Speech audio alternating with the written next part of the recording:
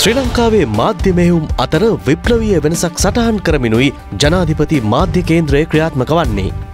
ලොව සංනිවේදන ශේත්‍රයේ උසස්ම තාක්ෂණයෙන් ජනාධිපති මාධ්‍ය කේන්ද්‍රය සමන්විතයි. රට අනාගතය කරා යන ගමනේදී රටේ ප්‍රධානයා ලෙස ජනාධිපතිතුමන් ක්‍රියාත්මක කරන සිරු ප්‍රතිපත්ති සහ ගනු ලබන තීන්දු තීරණ ජනාධිපති මාධ්‍ය කේන්ද්‍රය හරහා විශ්වසනීය ලෙස ජනගත කෙරෙනවා.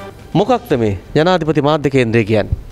සජිත් මේක ගොඩනැගිල්ලක් විදිර රම් බැලුවොත් ඉතා කුඩා සම්මන්ත්‍රණ ශාලාවක ස්වරූපය තමයි බලන කෙනෙකුට පේන්නේ මේක ජනාධිපතිතුමන් තමන්ගේ ජනාධිපති අපේක්ෂකයා විදිහට සාමාන්‍ය මහජනතාවට මැතිවරණය සඳහා ඉදිරිපත් කරපු ප්‍රතිපත්ති ප්‍රකාශයේ ජනමාධ්‍ය කියන ක්ෂේත්‍රය හරහා දීපු පොරොන්දුවක්. මේ වෙලාවේ තියෙන ප්‍රශ්නත් එක්ක මෙහෙම එකක් මොකටද කියලා කෙනෙක්ට දෙන්න පුළුවන්. මේ වෙලාවේ තියෙන ප්‍රශ්න නිසා තමයි මෙහෙම එකක් අවශ්‍ය. වැරදි තොරතුරු සමාජගත කිරීම නිසා ඇතිවෙන ප්‍රශ්න නිවැරදි තොරතුරු සමාජයට ගලා නොයාම එක පැත්තක්. ඒ කියන ප්‍රශ්න දෙකට උත්තර තමයි මේ වෙලාවේ අපි ලබා දෙන්නේ. මෙතනට එන්නේ අපේ ජනාධිපතිතුමන්ද කතා බහ කරන්නේ. කවුද ඇත්තටම මෙතනට එන්නේ?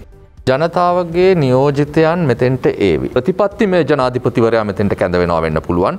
පුද්ගලයෙක් විදිහට ජනාධිපතිතුමාම ඇවිල්ලා මෙතනදී ජනමාධ්‍ය නියෝජිතයන්ගේ ප්‍රශ්නවලට උත්තර දෙනවා වෙන්න පුළුවන්. කෙනෙක්ට හිතුනොත් එම කේන්ද්‍රය සකස් කරලා තියෙනවා පහසුකම් ගොඩකින් එක්ක. මාධ්‍යවේදීන් පැමිණෙනවා.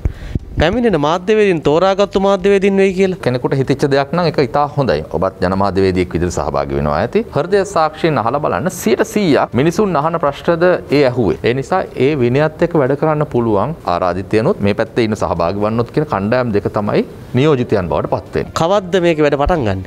සජිත් අපි හෙට ඒ කියන්නේ 29 වෙනිදා උදෑසන තමයි අපි මේක මුල් වරට ක්‍රියාත්මක කරන්න බලාපොරොත්තු වෙන්නේ. අතිකරු ජනාධිපති ගෝටාබේ රාජපක්ෂ මැතිතුමාගේ සෞභාග්‍යයේ දැක්ම ප්‍රතිපත්ති ප්‍රකාශයෙහි අඩංගු කාරණා සාක්ෂාත් වන ආකාරය එම ප්‍රතිපත්ති ප්‍රකාශය යථාර්ථයක් වන ආකාරය නිවැරදිව සමාජගත කරන්නටයි අපේ මේ සූදානම. එනිසා ඇත්ත ඇත්තසේ දකින්නට අපි ඔබට ආරාධනා කරනවා.